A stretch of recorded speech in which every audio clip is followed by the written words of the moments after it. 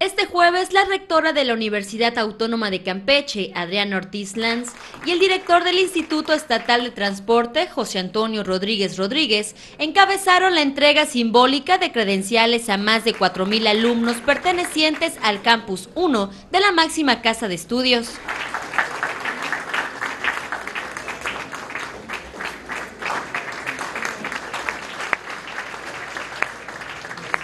Mediante su credencial universitaria para el uso exclusivo de nuestro transporte público, con el que se podrá obtener un descuento del 42% en base a la, tarifa, la tarifa normal. Ortiz Lanz informó que en total serán 9.500 alumnos inscritos en los diversos planteles de la Universidad Autónoma de Campeche, quienes se verán beneficiados con esta entrega de credenciales para descuentos en el servicio de autotransporte.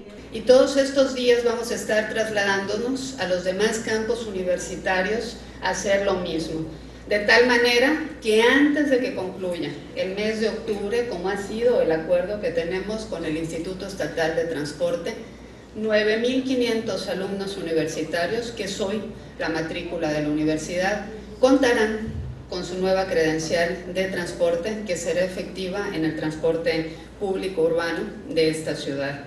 Durante su intervención, Ortiz se refirió al incidente que una universitaria tuvo con un operador de microbuses y reconoció la participación de las autoridades para resolverlo. Sin embargo, recordó ante el titular del Instituto del Transporte que existe un compromiso entre esa institución y la universidad para ofrecer un servicio de calidad a los alumnos.